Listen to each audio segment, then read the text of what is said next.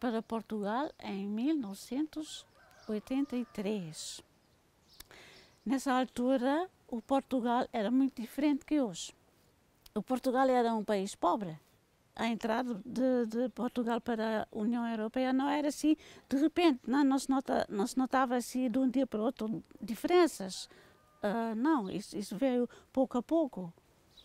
Portugal mudou com o dinheiro, com a ajuda europeia, uh, fizeram infraestruturas, né? fizeram autoestradas, fizeram uh, estradas, caminhos, uh, fizeram escolas e pouco a pouco ficou tudo melhor.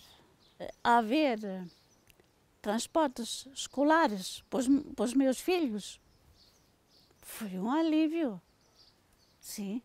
E apareceram supermercados era, era só um, um supermercadozinho, um pequenino na cidade, que é onde se comprava um,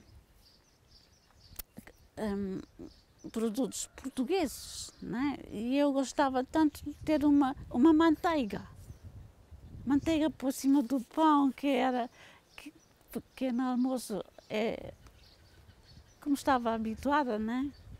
E só com os grandes supermercados, Lidl ou Alio, assim, é que agora tem manteiga, que eu gosto de comprar, que me faz feliz.